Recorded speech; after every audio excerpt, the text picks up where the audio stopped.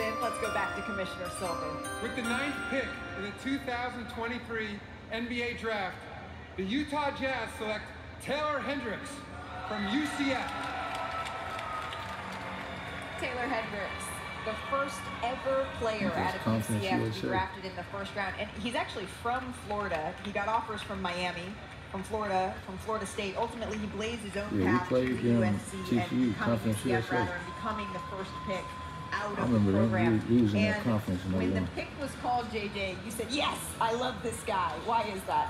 Well, let's start Watch, with bet the you see defense. Conference He's a USA on the floor on the German multi-positional highlights. He led the conference in blocks while simultaneously shooting over 39% from three on almost five attempts a game.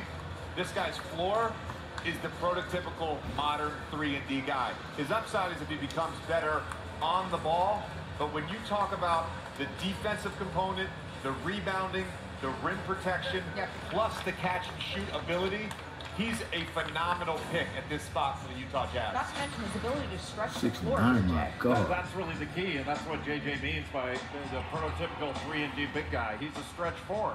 He's primarily a catch and shoot guy like rather than dribbling into his shot. But his ability to rebound, he plays with a high motor. He really plays hard, and he's got Well, six versatility on the defensive end. He can well, switch no out. He sort of- sees the ball well. He's been very well coached. No he sort for uh, Johnny Dawkins at UCF, who was the number 10 pick of the San Antonio Spurs in Mm, 1986, and maybe the most important player in Duke basketball Ooh. history.